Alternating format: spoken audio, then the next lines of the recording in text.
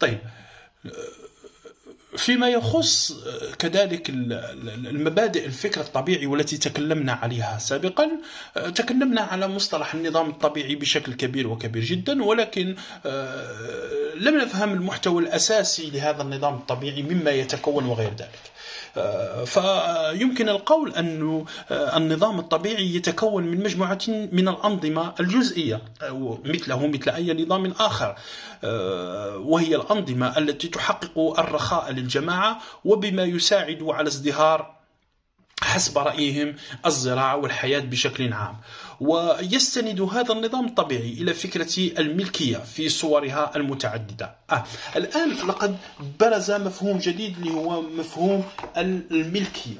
على غرار المدرسة التجارية التي تكلمت على مفهوم الملكية بقدر من التحيز.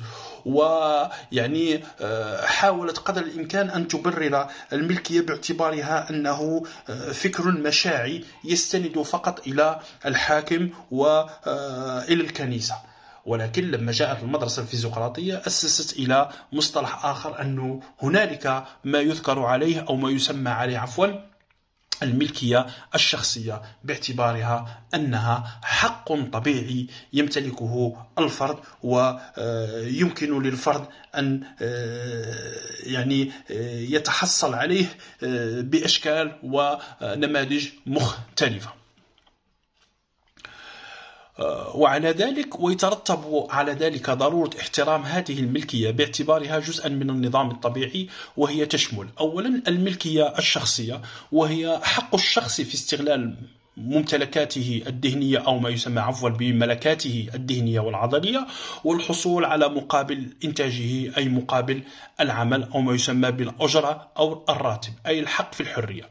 ثم هنالك الملكية المنقولة وهي حق الشخص في ملكية ثمرة عمله والملكية العقارية وهي تتعلق بصفة خاصة بملكية الأراضي الزراعية.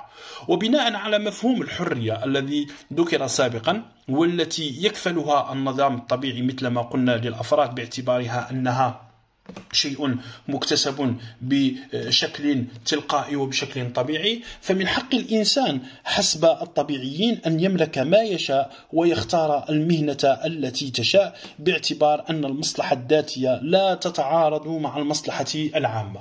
ويعود أصل العبارة المشهورة دعه يعمل عفوا. دعه يمر إلى العالم الفيزيقراطي أو أو أو, أو قبل الفيزيقراطيه مثل ما ذكرنا سابقا فرانسوا آه، كيني والتي تبناها لاحقا آدم سميث باعتبارها أنها إسناد فكري وإسناد موضوعي تقوم عليه المدرسة الرأسمالية. كذلك من المبادئ التي آه، نتكلم عليها حول مبادئ الفكر الطبيعي دور الدولة في الحياة الاقتصادية.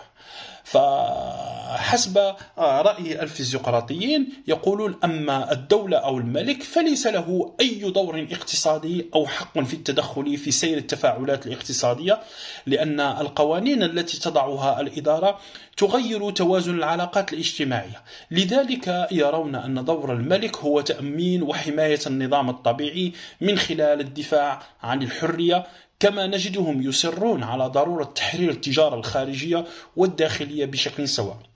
و تفسير ذلك أن حرية التجارة تكفل للزراع زيادة مداخيلهم لأن فرنسا خلال تلك المرحلة كانت قادرة على تصدير المنتجات الزراعية وبالتالي زيادة دخول العمال الزراعيين مع اتساع الأسواق أمامهم.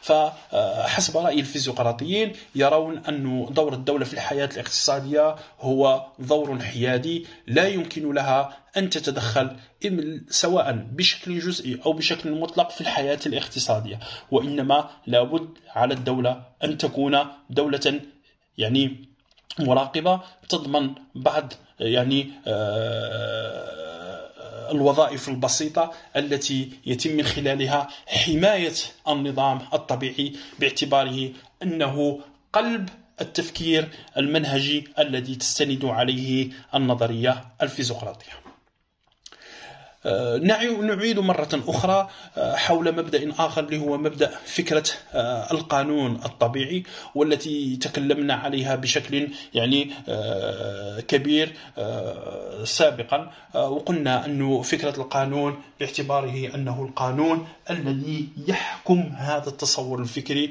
ويعطيه قدرا من القبول الموضوعي.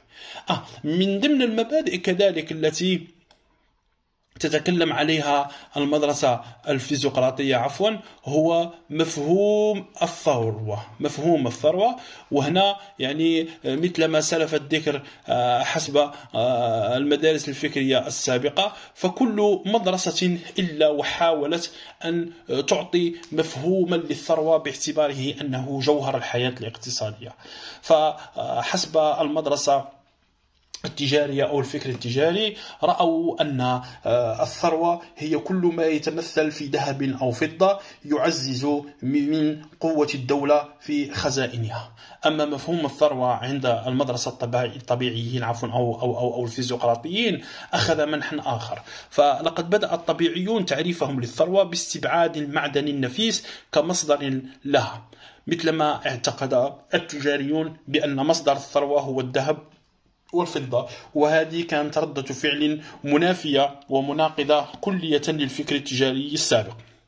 وأن الفرد أو الدولة التي تملك أكبر كمية من هذه المعادن هي الثرية أو هو الثري أو الغني. لكن الأمر مختلف بالنسبة للفيزيقراطية فهم يعتقدون بأن النقود المعدنية ليست إلا ثروة عقيمة. ويعرفون الثروة بأنها كمية من المنتجات التي بإمكاننا أن نستهلك منها ما يطيب لنا وبدون حساب دون أن يؤدي هذا الاستهلاك إلى شح المنبع الرئيسي لهذه المنتجات. فالثروة إذا كما يعرفها آه، دولا هي مجموعة القيم التي يمكن استهلاكها عند الرغبة دون إفقار للمصدر. ومن خلال هذا التعريف يعني آه، حقيقة نستمد نوعا من النضج الفكري في آه، مفهوم القيم في مفهوم الاستهلاك وصار هنالك إدراج لمجموعة من المصطلحات الاقتصادية الدقيقة التي لم تكن موجودة آه، سابقا.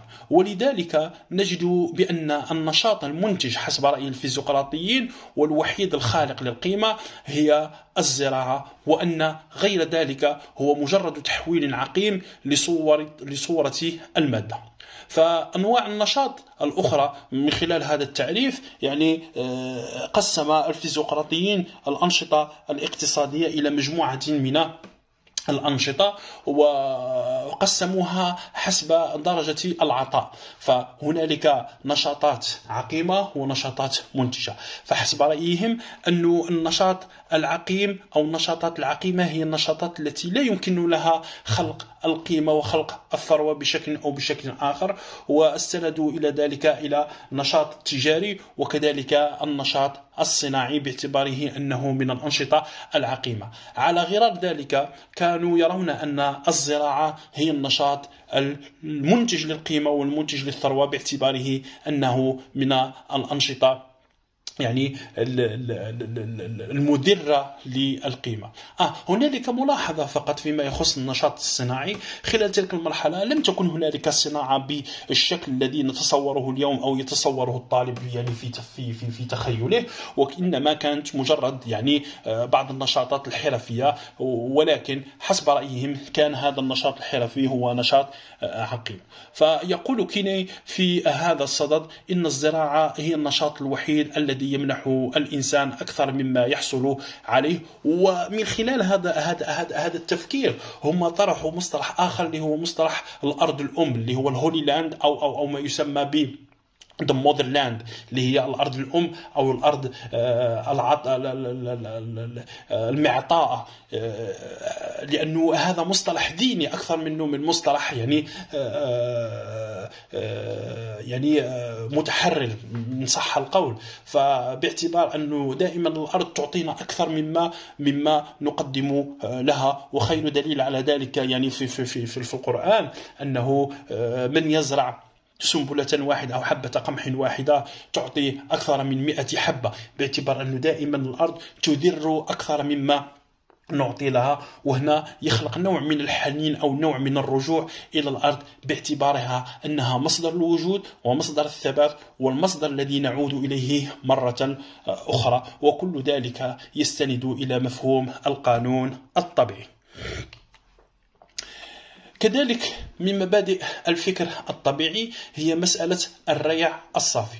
وهنا حقيقة نرى أنه ظهر آه، نضج في الفكر الاقتصادي مقارنة بالمراحل السابقة حيث صرنا نعتمد على مسميات جديدة لهذه المسميات التي أضفنا إليها المصطلح لاروند فتكلمنا على الريع الصافي ففي كل عملية إنتاجية يقوم الإنسان للحصول على سلعة أو رزق آه، لا بد له من إنفاق بعض المصاريف الضرورية لإنتاج تلك السلعة شراء مواد أولية صرف الوقت اللازم تسديد أجور العمال وغير ذلك.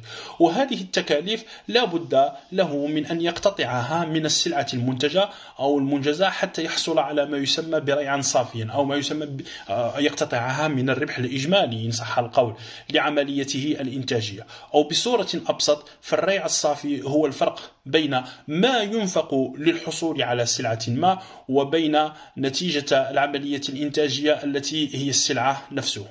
وإن هذا الريع الصافي بهذه الصورة لا تمنحه سوى الزراعة دون غيرها من الفعاليات الاقتصادية الأخرى.